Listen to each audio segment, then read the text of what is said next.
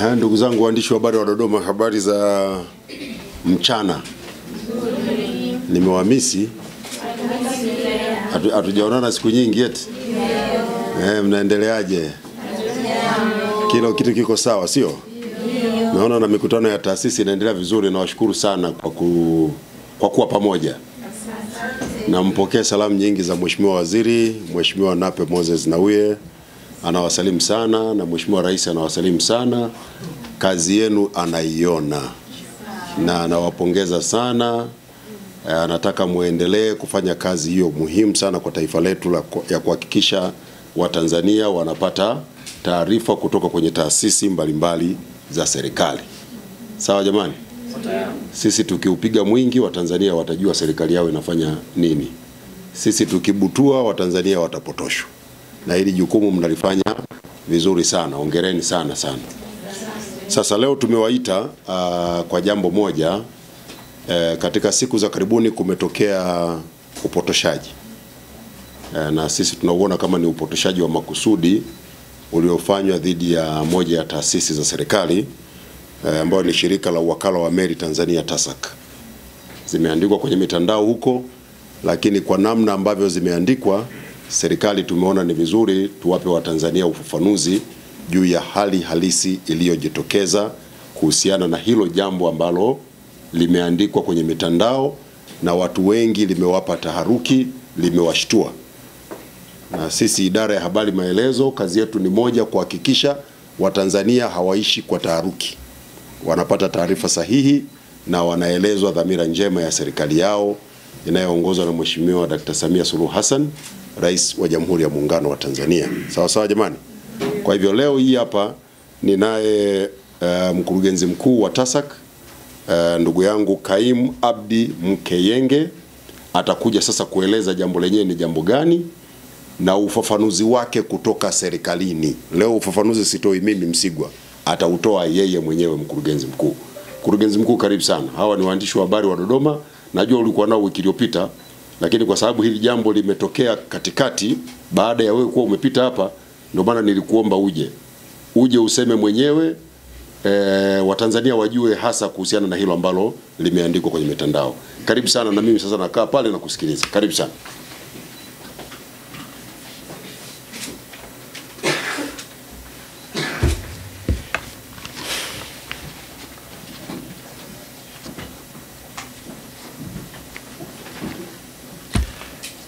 Zangu, nawasalimu kwa jina la Jamhuri ya Muungano wa Tanzania.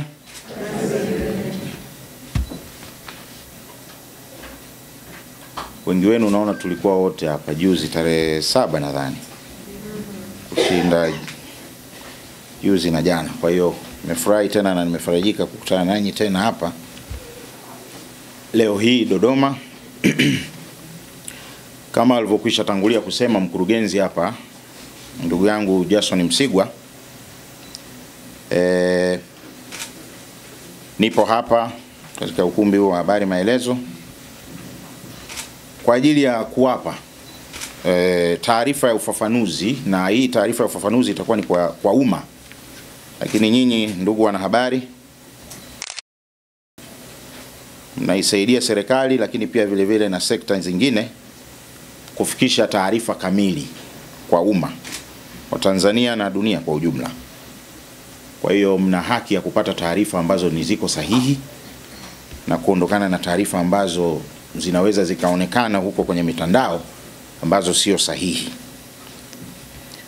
Kwa hiyo taarifa hii ya leo kwa umma eh, itajikita hususan katika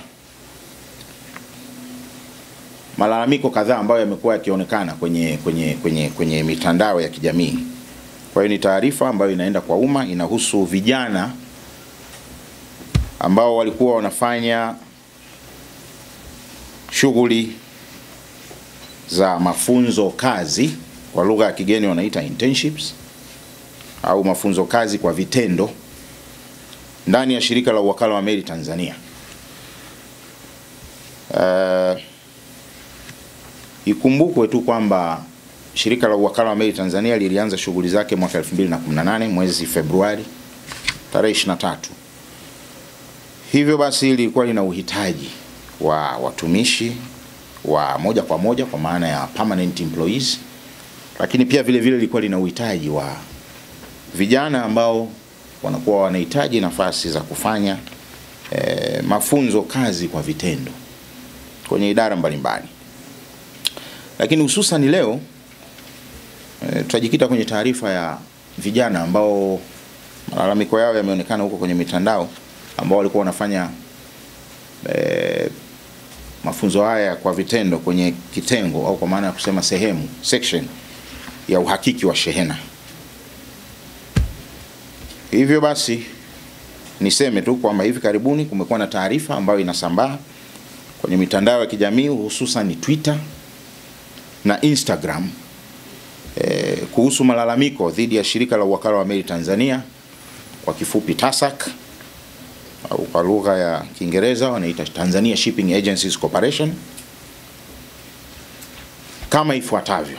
Malalamiko hayo, la kwanza ambalo limeonekana huko ni kwamba mikataba ya mafunzo kazi kwa vijana zaidi ya mia nne waliokuwa TASAC ilivunjwa bila kufuata utaratibu na ikiwa imebaki muda wa mwaka mmoja kuisha kwa mikataba hiyo.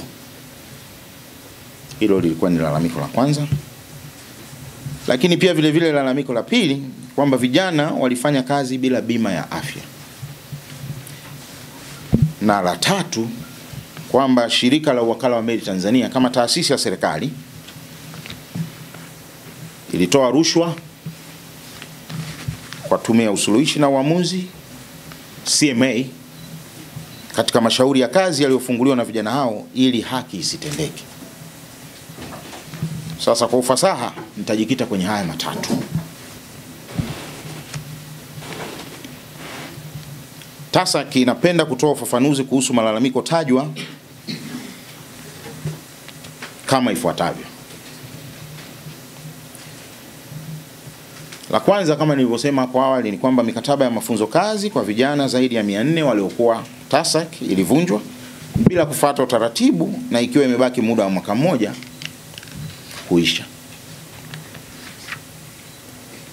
Mnamo mwezi Julai mwaka 2022 Bunge la Jamhuri ya Muungano wa Tanzania lilifanya mabadiliko ya sheria ya Wakala wa meli Tanzania sura namba 415 kupitia sheria ya fedha namba tano ya mwaka 2022 kwa kufuta baadhi ya majukumu ya kipekee ya uwakala wa meli, uhakiki wa shehena, uhakiki wa mizigo, udhibiti wa nyaraka na kupunguza wigo wa jukumu la kufanya uwakala wa forodha katika bidhaa zilizokuwa zinagombolewa na kuondoshwa na TASAC chini ya kifungu cha saba kifungu kimoja kifungu namba moja kidogo A, B, C na D. Kwa hivyo basi TASAC kwa kutekeleza mabadiliko ya sheria haya, kwa kuwa ilikuwa inatekeleza majukumu hayo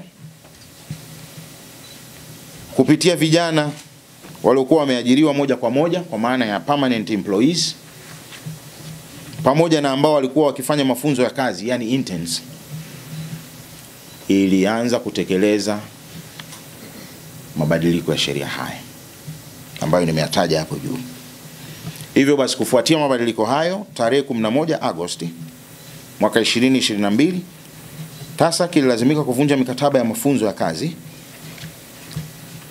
kwa vitendo kwa jumla ya vijana 209 waliokuwa wakifanya kazi za uhakiki wa shehena kwa maana ya cargo tally na sio zaidi ya 400 kama ilivyoripotiwa katika mitandao ya kijamii.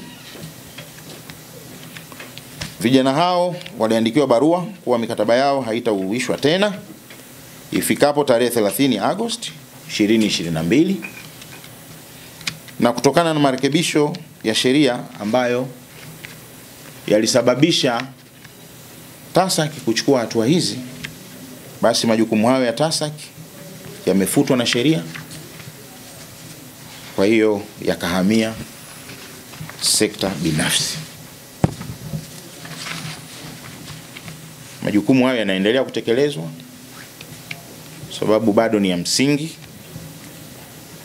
lakini yamerudi sekta binafsi. Kwa hiyo hizo fursa zipo, ni kuhamisha tu majukumu, kwamba kuiacha taasisi ya serikali kufanya kitu fulani kimerudi kuongeza wigo wa ajira katika sekta binafsi. Tuelewane hapo kwanza. Hivyo basi, kwa mujibu wa masharti ya mikataba, shirika la uwakala wa meli ilikuwa haiwapi mikataba ya mwaka kama ilivyoripotiwa, mikataba ya miezi mitatu mitatu, sita, tisa mpaka kumi na mbili. Kutegemea utendaji kazi wa mtu, lakini hakuna mtu ambaye ameandikiwa kwamba utakuwepo kwenye mafunzo kazi kwa vitendo kwa mwaka mzima.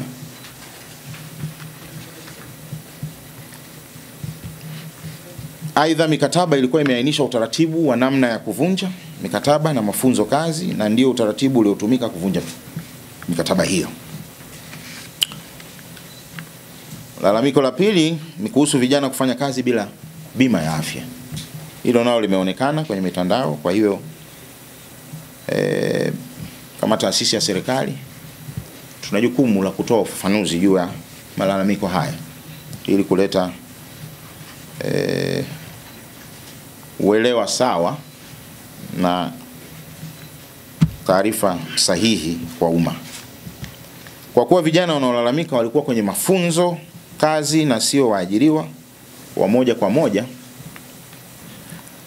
shirika kama taasisi nyingine zozote za serikali haina wajibu wa kuwakatia bima ya afya vijana hao inayowachukua kwa mafunzo kazi, kwani stahiki zao zimeainishwa kwenye mwongozo wa kitaifa kwa mafunzo kazi uliotolewa na ofisi ya waziri mkuu, kazi, vijana, ajira na watu wenye ulemavu. Kwa maana nyingine wanaita National Internship Guidelines ya mwaka 2017. Stahiki hiyo ambayo imetajwa hususan katika mwongozo huo ni posho ya nauli kiasi ambacho kitaamuliwa na shirika husika. Lalamiko la tatu lilikuwa ni kuhusu madai kwamba TASAC ilitoa rushwa kwa tume ya usuluhishi na uamuzi CMA. Sasa hapa labda nipende kuufahamisha umma kwamba shirika la uwakala wa meli Tanzania ni taasisi ya serikali ambayo inasimamiwa na sheria, kanuni na miongozo ya serikali. Hivyo basi mashauri yake yote kisheria yanasimamiwa na ofisi ya wakili mkuu wa serikali, ikiwa ni pamoja na shauri hili. Kwa mantiki hiyo, nipende tu kuhakikishia umma kuwa TASAC haijawahi kutoa rushwa yoyote kwa tume ya usuluhishi na upatanishi kwa maana ya CMA, kwa sababu hiyo CMA yenyewe ni taasisi ya serikali ambayo inategemewa kutoa haki pale ambapo mlalamikaji atapeleka malalamiko yake dhidi ya mlalamikiwa. Kwa hivyo basi TASAC haikutoa rushwa kwa CMA na kuzuia haki isitendeke kwa vijana hawa kama ilivyoripotiwa katika mitandao ya kijamii ambayo nimeitaja hapo awali. Pia vile vile ningependa umma ufahamu kwamba kati ya vijana mia mbili na tisa waliofutiwa mikataba yao. Na sio zaidi ya mia nne kama ilivyoripotiwa, ni vijana 41 tu ambao hawakuridhika na maamuzi hayo kati ya hao 209 ambao nimewasema. Na katika hao 41 hapa, naomba mnisikilize vizuri, vijana 32 walifikisha shauri lao kwenye tume ya usuluhishi, lakini shauri lao lilifutwa kwa sababu walilipeleka nje ya muda. Kwa hiyo katika wale 41 ambao hawakuridhika na maamuzi haya 32 wao walikwenda wakafikisha lile shauri lao, lakini ilikuwa nje ya muda. Kwa hiyo 41 ukiwatoa wa 32 unabaki na vijana tisa. Sasa kwa kuwa shauri la hawa tisa lilipokelewa, shauri lao dhidi ya TASAC lipo katika tume ya usuluhishi na uamuzi. Kwa hiyo pia siwezi kuzungumzia swala ambalo linafanyiwa kazi na chombo ambacho kinatakiwa kitoe haki.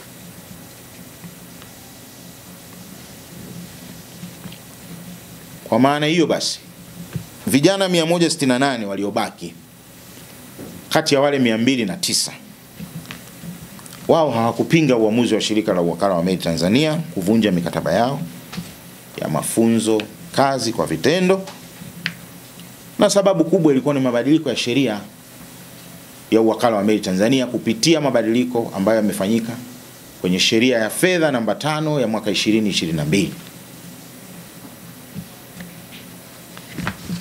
Hili lilikuwa nje ya uwezo wa shirika kwa sababu ni swala la kisheria na bunge limeshapitisha sheria. Kama taasisi ya serikali ni kutekeleza mabadiliko yale, kwa sababu serikali imeona ni vyema zaidi kuchukua hatua hiyo ya kisera na kurudisha shughuli hizo katika sekta binafsi ili kukuza mchango wa uchumi kupitia sekta binafsi.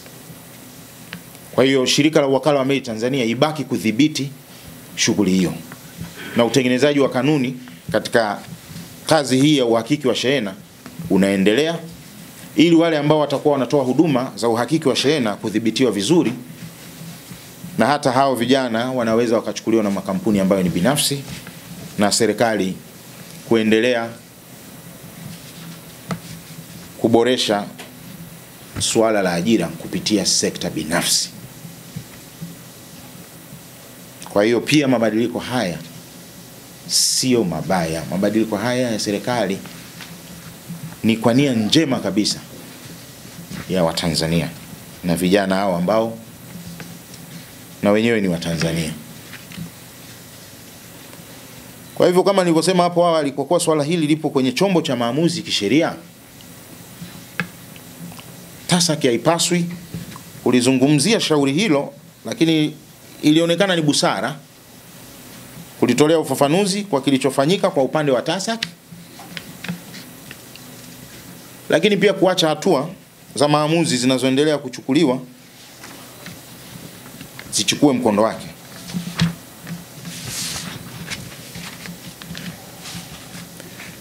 Hivyo ndugu zangu, itoshe tu kusema kwamba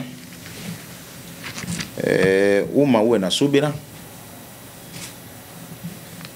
e, hadi hapo tume itakapotoa uamuzi kuhusu hatima ya mashauri ya hawa vijana. Kama nilivyoeleza, na nitoe wito tu sasa kama taasisi ya serikali, wito huu uende kwa umma. Shirika la Uwakala wa Meli Tanzania linatekeleza majukumu yake kwa kuzingatia sheria kanuni, taratibu na miongozo inayotolewa na serikali. Hivyo linatoa wito kwa umma kuwa na subira wakati tume inapofanyia kazi mashauri haya. Asanteni sana kwa kunisikiliza.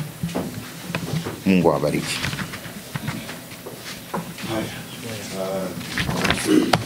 lolote basi karibuni. Kwa hiyo yote kwenye swali muulize mkurugenzi mkuu wa. Kwanza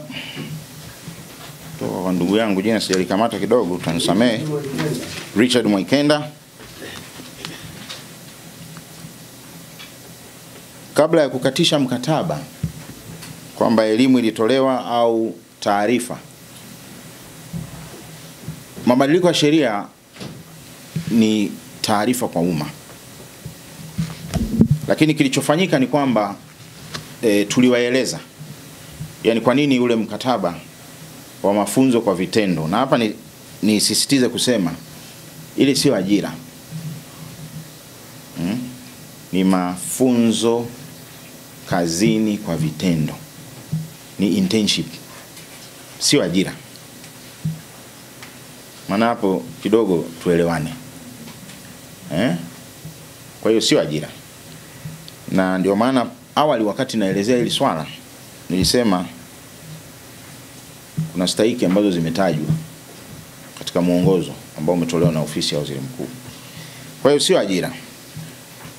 Kwa hiyo tangazo la mabadiliko ya sheria lilipotoka, tuliwataarifu wote na tukasema sababu ya nini hawatokuwepo, kwa sababu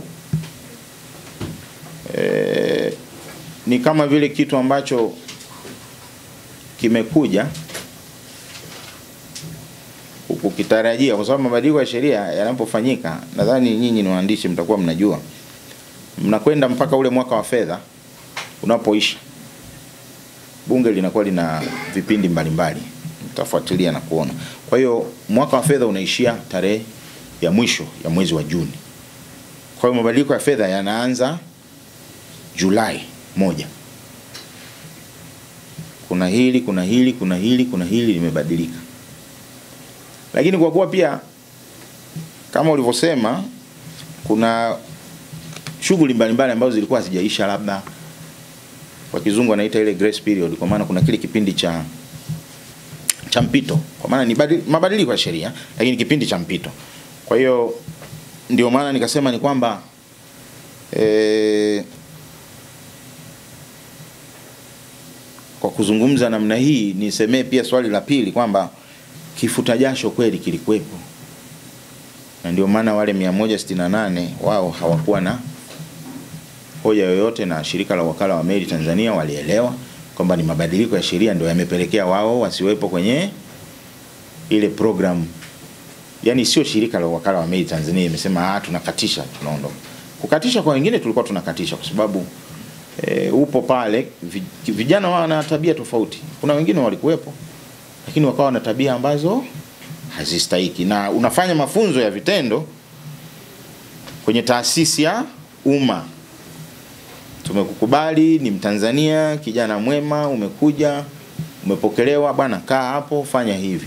Unaweza ukachukua nyaraka ukazisambaza kwenye mitandao, au unaweza ukachukua taarifa za serikali ukazisambaza. Kwa hiyo kuna vitu, kuna makosa pia ambayo yanatakiwa ya yaangaliwe ukifanya. Kuna wengine walikuwa wana sumbua wenzao. Kwa hiyo wengi tu tulivunja mikataba, lakini kwa ushahidi, kama vile tu kwenye sheria zingine za kazi ambazo hata mtumishi wa umma, ukiwa mtumishi wa umma huko, hata kwenye sekta binafsi wana sheria zao. Kwa hiyo kukatisha mkataba kwa sababu moja au nyingine inaruhusiwa. E, umevunja umevunja sheria ambazo uliambiwa mipaka yako bwana ilikuwa ni hapa. Mfano, umeambiwa ufike saa mbili, wewe unafika saa nne watakuvumilia mara ya kwanza, mara ya pili, sheria za kazi zitachukua hatua yake. Kwa hiyo kuvunjwa kwa mkataba huu ilikuwa lile tangazo tu la mabadiliko ya sheria, tulitoa hiyo elimu, tuliwafahamisha ni kwa nini tunavunja mkataba, na ambao walielewa, ambao ni wengi e, waliendelea tu na shughuli zingine na waka waka waka wakaelewa, na kama unavyosema vifuta jasho vili, vili, vili, vili, vilitolewa vilitolewa. Tena kwa mwezi kabisa wa mbele ambao ulikuwa hauna majukumu. Kimsingi hilo lilifanyika, sababu serikali ni ya wote na hawa vijana ni wa Kitanzania. Kwa hiyo e, halikuwa jambo la hasira. E, kuna swala hapa e, na lenyewe nadhani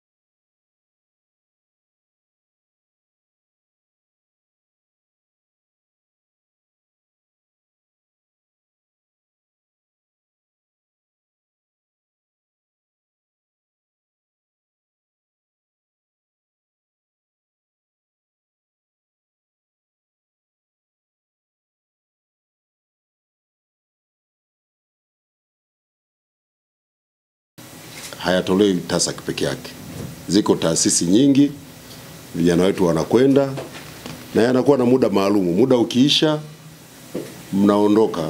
Kishamaliza, hata mimi niliwahi kwenda intern sehemu, muda ulipokwisha, unaondoka kilo safi. Eh, sasa ukishaenda internship, siku ya kuondoka haiwi kesi au, au, au Watanzania mna experience tofauti kwamba ukienda intern basi unakuwa ni lazima ubaki eh, eh, winted manake una kipindi maalum, na serikali ndio maana imeweka na mwongozo huo chini ya ofisi ya waziri mkuu kwa sababu pia tumeona utaratibu huu ni mzuri, unawasaidia vijana wetu kupata uzoefu baada ya mafunzo ya darasani. Sasa wanakwenda kwenye mafunzo kwa vitendo. Sasa ndugu zangu, tusigeuze dhamira hii njema ya serikali kuwa sasa nongwa ya kupelekana mahakamani na kudai, nadhani sio sawa. Kwa hiyo niwapongeze sana mkurugenzi mkuu. Uh, kwanza nikuhakikishie waandishi wa habari hawa wamekuwa very strong kwenye eneo hilo. Ha, hawakubeba habari kama hiyo kwa sababu wanaujua utaratibu. E, ni bahati mbaya tu kuna baadhi ya taasisi e, na, na wanatumia kwa sababu uhuru wa kujieleza sasa umepanuka sana kwenye mitandao, wanatumia uhuru huo wanakwenda wanaandika, lakini tutoe wito e, taasisi mbalimbali viwe vyama vya siasa viwe viongozi au nani, una jambo, taasisi za serikali milango ipo wazi, nenda ukaulize. Ukienda kuuliza utaambiwa. Sasa ukifika hapo unasema TASAC inatoa rushwa. Sasa TASAC itoe rushwa ili iwaje? Hii taasisi ya serikali rushwa akitoa anaitoa wapi? Anatoa mshahara wake kwa sababu kwenye mafungo ya serikali huwezi kutoa eh? Halafu unatoa rushwa ili umkandamize mwanafunzi anayekuja kufanya mafunzo. Jamani, linaelezeka hili kweli? Haiwezekani. Kwa hiyo mimi nitoe wito kwa watu mbalimbali ambao wana, wanatumia majukwaa ya mitandaoni, wengine hata kwenye baadhi ya vyombo vya habari. Unapokuwa una jambo, ofisi za serikali zipo wazi, nenda kwenye ofisi. Ukikwama, ofisi ya msemaji mkuu wa serikali ipo, njoo, nitakupa majibu lakini tusiende kupotosha wananchi na kuwapa taharuki kwa mambo ambayo hayana ukweli wowote. Sawa, jamaa ndugu zangu, na niwapongeze tena waandishi wa habari, mmekuwa strong, lakini pia TASAC uh, ni kwa sababu tu mabadiliko ya sheria yamefanyika, lakini uh, TASAC walikuwa wanafanya hivi kama zinavyofanya taasisi zingine, kuwasaidia Watanzania kupata uzoefu kwa mafunzo ya vitendo. Eh, sasa isigeuke kuwa nini? kuwa nongwa. Otherwise, mimi nakushukuru sana mkurugenzi mkuu na naomba nikusindikize. Sasa ndugu zangu waandishi wa habari, naomba mbaki kidogo, narudi baada ya dakika tano, tuje tuzungumze jambo jingine. Sawa jawa? Sawa jamani, asanteni sana. Shukrani. Haya.